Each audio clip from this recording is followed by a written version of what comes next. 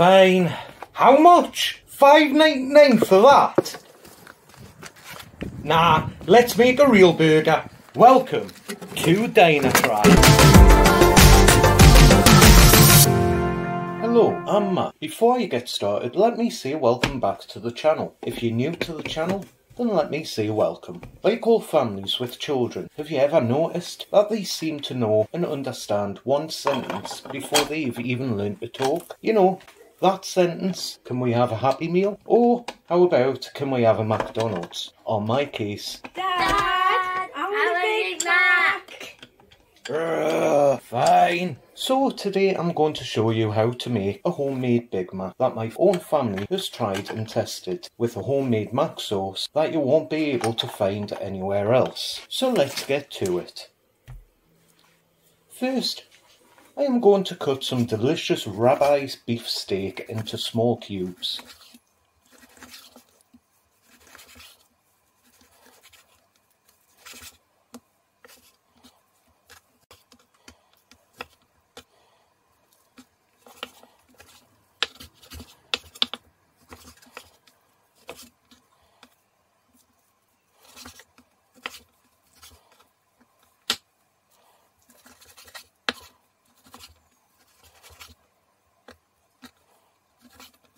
Then mince it through my terrible Lakeland mincer. If you want to know why, then you can watch the full review on the channel or by clicking the link above.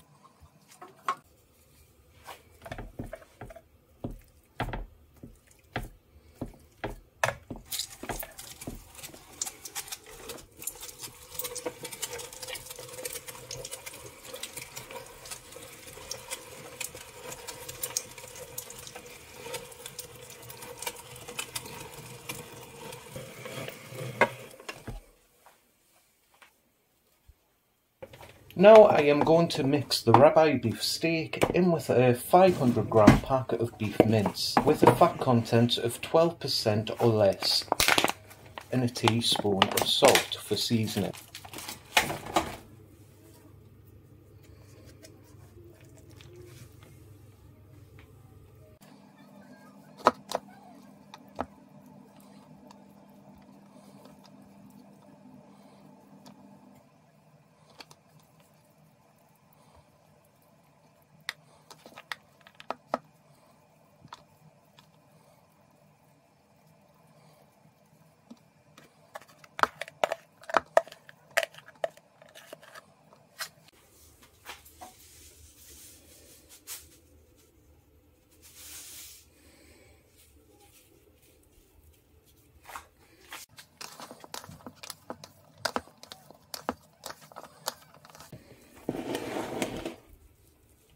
Once all the beef has been mixed, then it is time to press it into some beef patties.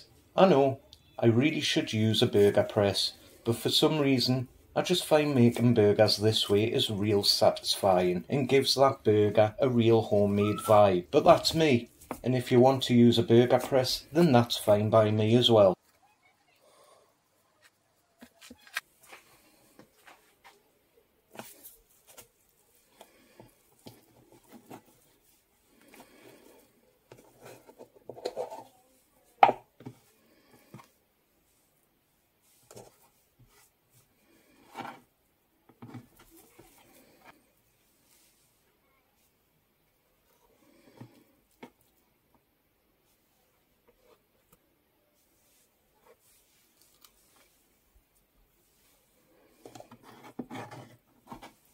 Now let's put them delicious looking burgers to one side and deal with the bread buns.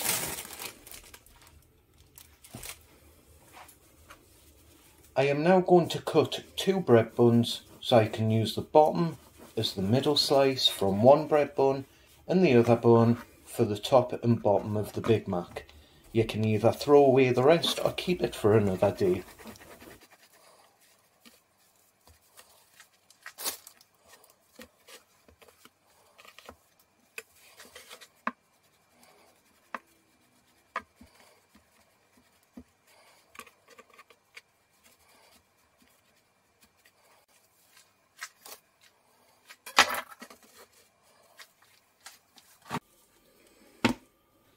Then spread some butter onto each side. You can use margarine as a substitute, and it will work just as good. I do understand that everyone has their own choice. If you really want to make homemade bread buns, then please, go right ahead. But I'm using shop bought, and personally, I do believe this is the right way to go when making a Big Mac.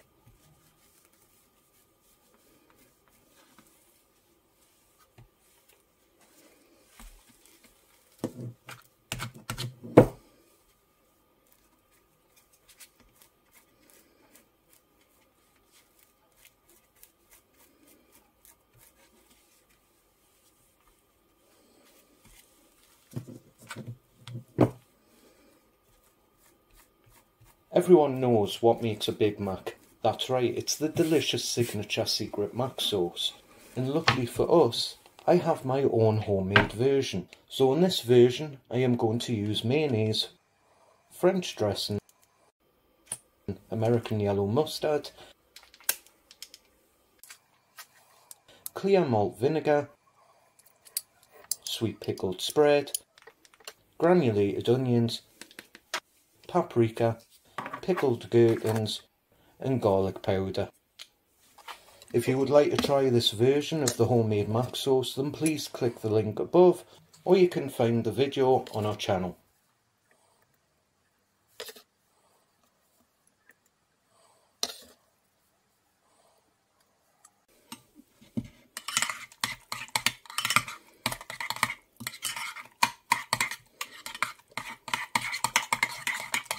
Now on to the onions. As you may know, the onions from McDonald's are very hard to mimic. This is because McDonald's use dehydrated onions and is one of the reasons why it is so hard to recreate. Luckily, I think I have actually found a way and it's quite simple to make and will taste just as good. I'm going to use a large brown onion and very finely chop them.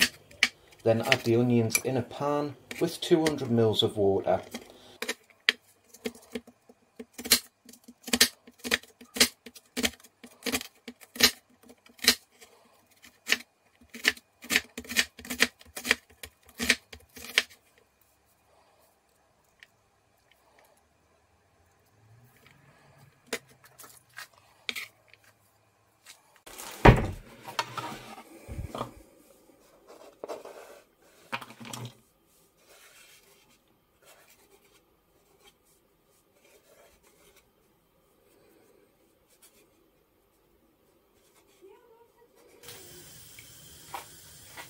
Place the pan on a medium heat with a lid and steam the onions until the water has fully evaporated, but make sure not to brown them. While the onions are cooking, we can toast the bread buns in a frying pan. Place the pan on high heat and place the bread buns on the frying pan when the pan is hot.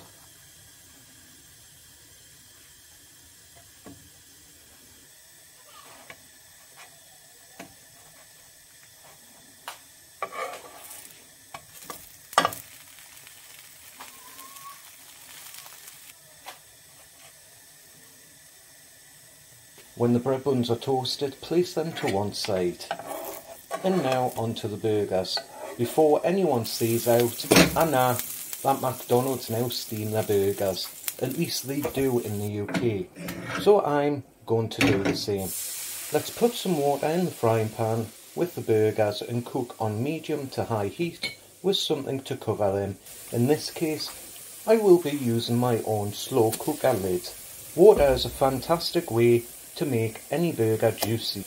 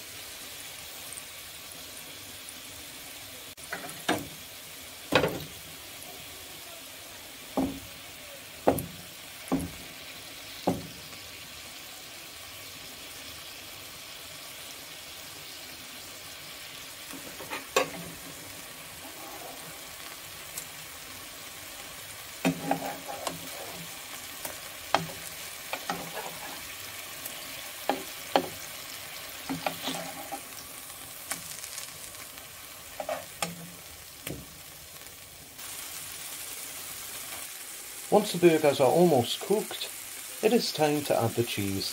Now I know McDonald's use American sliced cheese, but here in the UK I just can't seem to find it. So really, you should use American, but if you can't find it, then all I can say is use your favourite cheese. In my case, I'm using Red Leicester. Place the cheese onto the burgers and place the lid back onto the frying pan.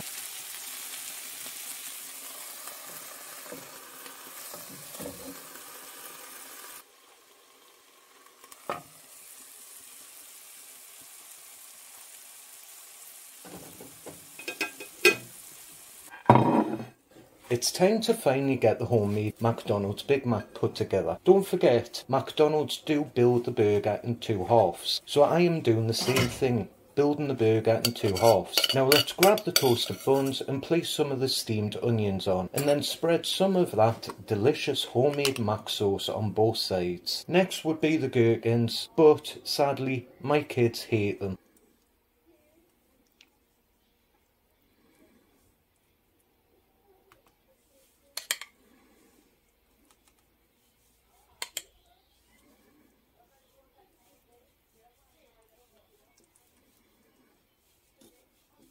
Then add some of your sliced lettuce. I'm cheating because I'm using the pre-sliced. And let's not forget the burgers in the middle sliced bread. To make it as authentic as possible, serve with some frozen french fries and add a little salt. Place some extra homemade mac sauce and serve. And there we have it. Now you can sit back and watch as each plate comes back empty. Don't forget if you want to try the homemade mac sauce, you can click the link on the screen above or below in the description or find it on our channel. If you try the recipe out, please don't forget to let me know what you thought in the comments below. If you liked the video, please don't forget to like, click the bell, share and subscribe to the channel. If you have already done so, then all I can say is thank you from the bottom of my heart. It really does help. And now, all I can say is, till next time, thanks for watching DinerTRIBE.